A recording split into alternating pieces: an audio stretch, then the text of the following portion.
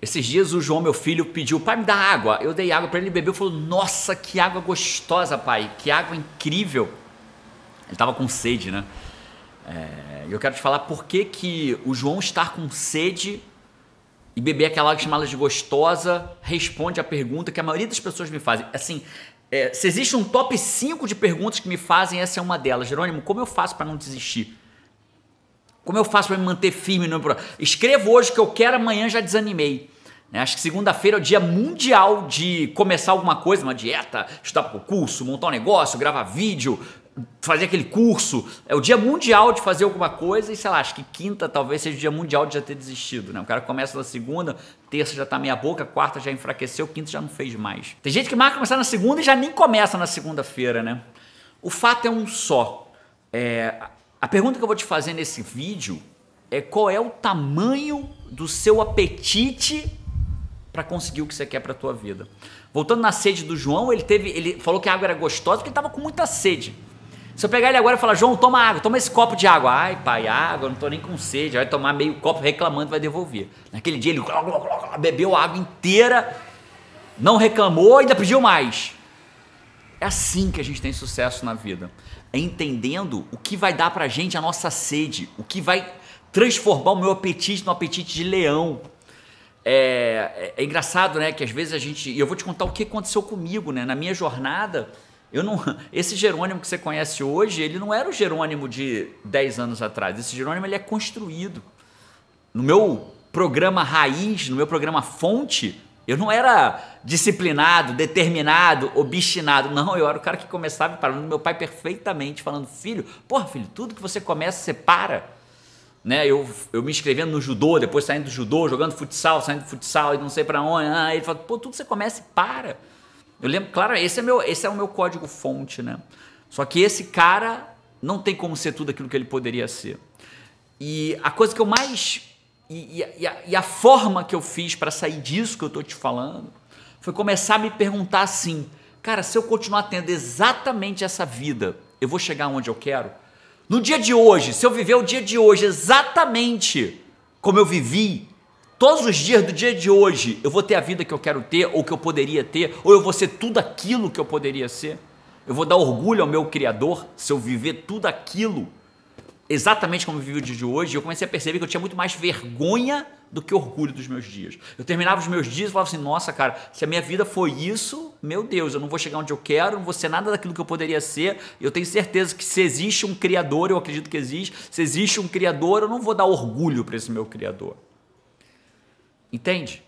Então acho que a pergunta que a gente tem que se fazer, você não vai achar o teu apetite, a tua sede no meu vídeo ou no vídeo de qualquer outra pessoa. Você vai achar ela dentro de você. A sua sede, a sua vontade, o seu apetite tem que vir de você, tem que ser visceral. Eu tenho que acordar de manhã e falar assim, cara, eu me recuso a continuar tendo essa vida. Eu me recuso a ser a média. Eu me recuso a ser a massa, ser só mais um na multidão. Eu me recuso. Eu não vi o um mundo a passeio. Quando você aceita que você não vê o mundo a passeio e que se você continuar tendo a vida daquele dia, que você vai ter vivido uma vida nhé, é hora que você começa a ter fome e sede para fazer diferença. Então, quando você me perguntar da próxima vez assim, Jerônimo, como eu faço para parar de procrastinar? Jerônimo, como eu faço para terminar as coisas que eu começo? Eu te pergunto, o que que abre teu apetite? O que te dá vontade de seguir? O que, que te dá sede para beber água e ela ser gostosa? Entende? Você precisa olhar para a tua vida e falar assim: chega dessa vida. Tem uma hora que a decisão tem que acontecer e não vai ser fácil. Se fosse fácil, todo mundo faria. Se fosse fácil, todo mundo era rico. Se fosse fácil, todo mundo estava vivendo a vida maravilhosa. Se fosse fácil, todo casamento era perfeito. Se fosse fácil, ninguém tinha problema com os filhos. Se fosse fácil, todo filho era educado, obediente. Se fosse fácil, ninguém estava passando necessidade, todo mundo morava num, num lugar que quisesse, viajava para o lugar que quisesse, tinha um celular que quisesse, se fosse fácil, todo mundo faria.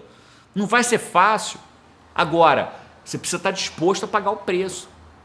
Você precisa estar disposto a ter apetite para mudar o que existe hoje, para ter o que precisa existir para você alcançar o que você quer para a tua vida. Então o sucesso, ele não vem de um dia de vontade, ele vem de dia após dia. Ele vem de você se recusar dia após dia dia após dia a não vir no mundo a passeio. É assim que a vida muda. É acordar hoje e falar assim: eu não vim no mundo a passeio, eu vou levantar da cama e eu vou fazer o que eu tenho que fazer para dar orgulho ao meu Criador, para ser tudo aquilo que eu poderia ser. E aí cabe a você descobrir o que, que vai fazer você seguir. Eu não vou te dizer o que vai fazer você seguir. Você precisa descobrir dentro de você o que vai fazer você seguir. É não deixar teus filhos passarem pelo que você passou, é fazer, é ajudar seus pais que deram o melhor que puderam e ainda assim talvez não tenha sido o suficiente, é ajudar seus pais, é, é se dar o direito de fazer uma viagem. Eu não sei o que vai abrir o teu apetite, o que vai fazer a água ficar gostosa para você, mas você precisa precisa investir tempo da tua vida em descobrir o que vai fazer a sua água ficar gostosa, o que vai fazer você beber e falar assim: nossa, que água gostosa.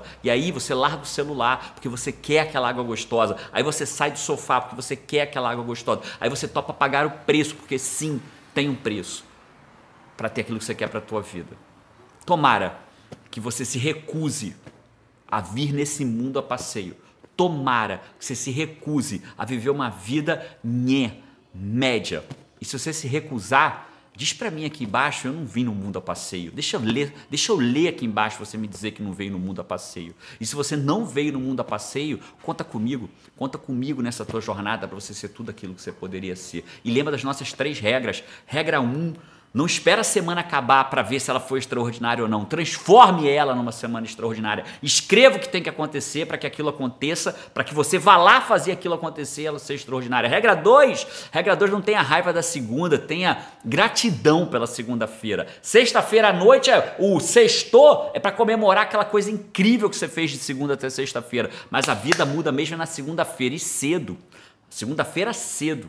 Terceira regra, nossa aqui, se não for você quem vai fazer, quem será? Partiu segunda? Então agora vai lá e faz.